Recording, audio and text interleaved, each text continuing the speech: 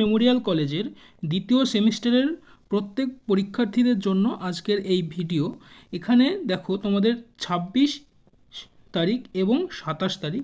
এই দুদিন অনার্স এবং জেনারেল ওয়ের খাতা কিন্তু জমা নেওয়া হয়। রোল নাম্বার দুশো এগারো শূন্য শূন্য এক থেকে দুশো এগারো চারশো ষাট, এই রোল নাম্বার পর্যন্ত ছাব্বিশে আগস্ট এবং তার পরের অর্থাৎ চারশো ষাটের পরে যত স্টুডেন্ট আছে তাদের খাতা জমা নেওয়া হবে সাতাশে আগস্ট।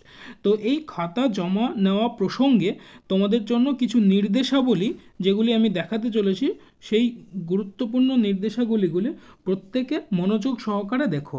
দেওয়া আছে যে অ্যাডমিটের এক কপি জেরক্স এবং যে পেমেন্ট স্লিপ অর্থাৎ সেই স্লিপটের এক কপি জেরক্স কিন্তু সঙ্গে দিতে হবে। তার সাথে যেটা গুরুত্বপূর্ণ, সেটা হচ্ছে যে, এই যে পার্ট ফর এক্সামিনার এই জায়গাটা আমি তোমাদেরকে মূলত দেখাতে চাইছি। যার জন্য আজকের এই অডিও ভিজুয়াল ক্লিপটি তোমাদের জন্য আমি বানাচ্ছি। তো এক্ষেত্রে তার আগে আমি প্রথমত কোশ্চেনটি তোমাদের একটু দেখিয়ে নিতে চাই। কোশ্চেনটি দেখার পর এই জায়গাটা খুব মানে কীভাবে ফিল আপ করবে, তোমরা খুব সহজেই বুঝে যাবে ওকে তো চলো কোশ্চেনটি দেখে নাও। দেখো, এখানে সমগ্র কোশ্চেনটি এটা সেকেন্ড সেমিস্টার ফাইনাল পরীক্ষার প্রশ্ন। এখানে টোটাল প্রশ্নগুলি তিনটে গ্রুপে ভাগ করা হয়েছে। প্রথমত হচ্ছে গ্রুপ এ গ্রুপ এতে যে কোশ্চেনগুলো রয়েছে, সেটা হচ্ছে তোমার কোশ্চেন নাম্বার ওয়ান থেকে এইট পর্যন্ত, এক থেকে আট পর্যন্ত প্রশ্ন এগুলি রয়েছে গ্রুপ এতে তারপরে হচ্ছে কি? গ্রুপ বি গ্রুপ বিতে হচ্ছে নাইন থেকে ফোরটিন অর্থাৎ নয় থেকে চোদ্দ। এই তোমার ছটি প্রশ্ন গ্রুপ বিতে আছে এবং গ্রুপ ছিতে রয়েছে টোটালে তোমাদের পাঁচটি কোশ্চেন অর্থাৎ সিরিয়াল নাম্বার ফিফটিন থেকে কোশ্চেন নাম্বার নাইনটিন পর্যন্ত। এই যে পাঁচটি কোশ্চেন তোমরা দেখতে পাচ্ছ, অর্থাৎ এখানে গ্রুপ এতে টোটালে হচ্ছে তোমাদের কোশ্চেন নাম্বার ওয়ান থেকে এইট পর্যন্ত গ্রুপ বিতে কোশ্চেন নাম্বার নাইন থেকে ফোরটিন পর্যন্ত এবং গ্রুপ সিতে রয়েছে কোশ্চেন নাম্বার ফিফটিন থেকে নাইনটিন পর্যন্ত। এইবার যে বিষয়টি, সেটি দেখো। এটি এই কাজটি মূলত তোমাদেরকে করতে হবে খাতা জমা দেওয়ার আগে। তোমাদের আনসার স্ক্রিপ্টের ফ্রন্ট পেজটি নিশ্চয়ই এইরকম এবং নিচের দিকে একটি পার্ট রয়েছে যেটা এক্সামিনারের জন্য। এই পার্টে তোমরা কি করবে?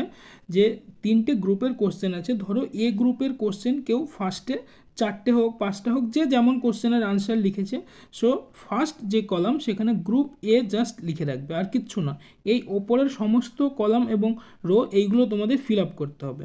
এবং পরের কোশ্চেন যে গ্রুপ বি লিখেছে গ্রুপ বি এর সাপোজ এগারো নম্বর কোশ্চেন কেউ লিখেছে, তাহলে এই কিন্তু কলামটায় গ্রুপ বি এর এগারো, এরকম করে লিখতে হবে। তারপরের কোশ্চেন কেউ তেরো লিখেছে, কিংবা যে যেমন লিখেছে, এক কথায়, এই পরের যে চারটে কলাম সেখানে গ্রুপ বি এর পরপর যে সমস্ত প্রশ্নগুলি লিখেছে সেই গ্রুপ বি এবং কোশ্চেনের যে সিরিয়াল নাম্বার সেই নাম্বারগুলো এখানে ফিল আপ করতে হবে।